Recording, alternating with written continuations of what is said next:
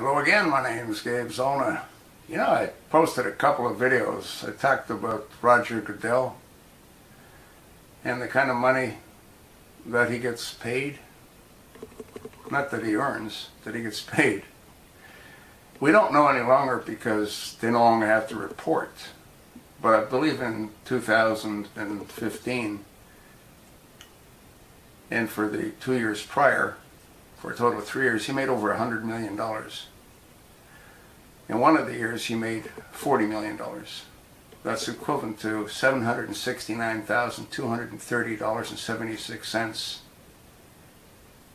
per week, or $19,230.76 per hour, or $320.51 per minute, or $5.39 per second.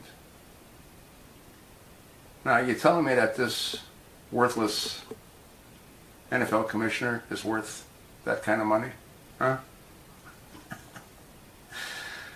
uh The President of the United States makes half of that. In Trump's case, he makes nothing. The article is posted on Western Journalism. There's also an embedded video.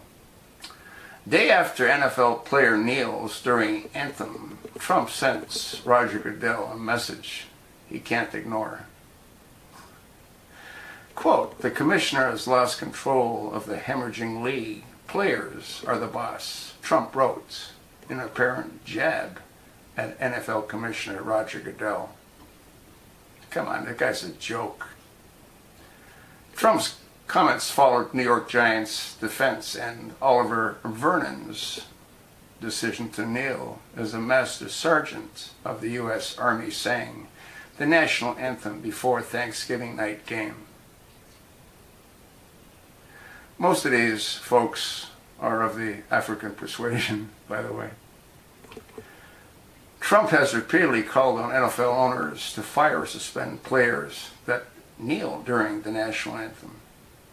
So now there's discussion among the owners to keep the players in the locker room while the anthem's being played. Trump tweeted that he feels that that's just as bad. Folks, I don't know how this is going to shake out, but there's no question that Trump's tweets are having a very significant negative impact on the NFL. The 6.3% rating dip exceeded the 5.6 to 5.7% slumps recorded in the previous three weeks. It's going to continue, as it should. Americans that enjoy football, many of them are true patriots.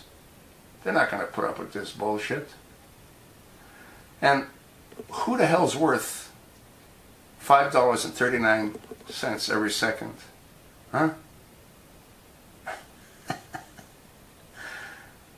That's based on a 40 hour week.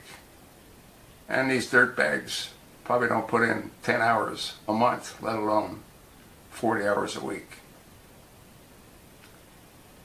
Now you know why your tickets are so expensive. Now you know why a hot dog is so expensive. And now you know why a cup of beer is so expensive. They're screwing the American people so they can pay these worthless, whatever they are, running around chasing a football, millions of dollars a year.